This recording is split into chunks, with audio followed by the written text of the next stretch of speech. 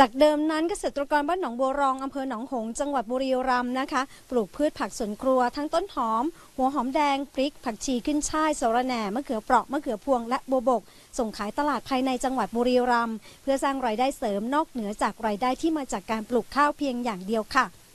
ต่อมามีการแนะนำช่องทางตลาดใหม่ที่กว้างขึ้นนะคะ ด้วยการให้เกษตรกรผลิตส่งออกไปยังต่างประเทศแถบสหภาพยุโรป ในลักษณะผักปลอดภัย จึงได้มีการรวมกลุ่มกันขึ้นมาเป็นวิสาหกิจชุมชน กลุ่มปลูกผักปลอดภัยส่งออก และร่วมกันวางแผนปลูก เพื่อผลิตให้ได้ตามมาตรฐานของ EU ที่กำหนดในพืชผักแต่ละชนิด ไม่ว่าจะเป็นขนาด ความยาว ความสูง และความสวยงาม ของลำต้นผลและใบ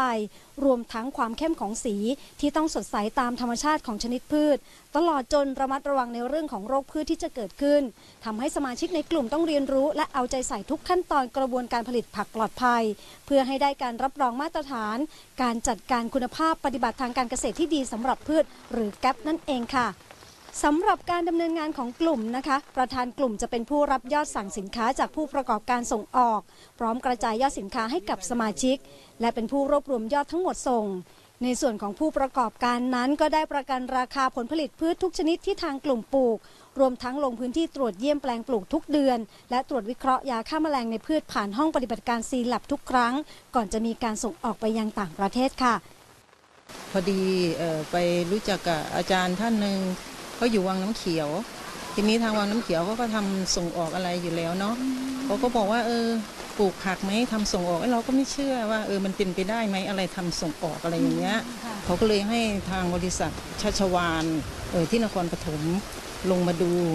ทีนี้เขาก็เลยว่าเออคุณภาพได้นี่ คือพอเราทำแล้วมันมันไม่ยากค่ะถ้าว่าเรารักในงานตรงนี้เออถ้าเราทำอะไรด้วยใจนี่มันมันจะ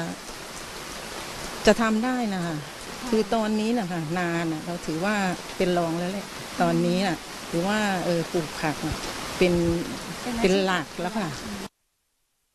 จากยอดสั่งที่ต้องผลิตส่งให้ได้ทุก 4 วันต่อสัปดาห์ นั่นคือจันทร์พุธศุกร์และเสาร์หรือประมาณสัปดาห์ละ 1 ตันนะคะ อีกทั้งยังมีข้อจำกัดในการผลิตที่ต้องให้ได้มาตรฐานแก๊ปทำให้กลุ่มต้องขยายฐานการผลิต รับสมาชิกเพิ่มขึ้นเป็นเครือข่าย มีที่อำเภอหนองกีลำปลายมาศชำนิประคำและคูเมือง รวมทั้งต้องขยายแปลงปลูกไม่ปลูกพืชซ้ำในแปลงเดิม เพื่อป้องกันการเกิดโรคในพืช ส่วนพื้นที่ปลูกก็ต้องอยู่ใกล้แหล่งน้ำและห่างจากถนน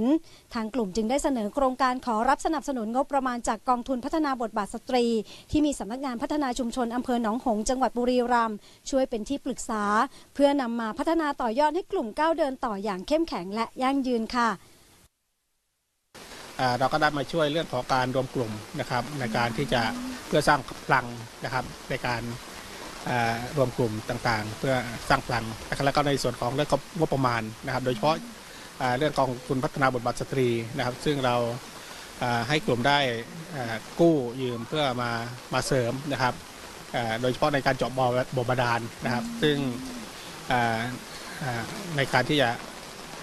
แก้ปัญหาเรื่องภัยแล้งนะครับที่จะใช้ในการลดผักนะครับ ในการที่จะทำให้ผักส่งออกในตรงนี้สามารถที่จะใช้ได้ตลอดทั้งปีนะครับ 8 ปีที่ได้ปรับเปลี่ยนพื้นที่ปลูกข้าวบางส่วน มาปลูกพืชผักสวนครัวปลอดภัยส่งออกสหภาพยุโรปนะคะ มีสมาชิกรวมกว่า 50 คน พื้นที่ปลูก 150 ไร่ค่ะ ส่งผลให้สมาชิกในกลุ่มมีรายได้ทุกสัปดาห์ ขึ้นอยู่กับความขยันของสมาชิกแต่ละคนเอง เพราะรายได้จะเข้าบัญชีธนาคารส่วนตัวของสมาชิก ตามจำนวนยอดสินค้าที่ส่งก่อเกิดเป็นรายได้ที่มั่นคงต่อเนื่องตลอดทั้งปี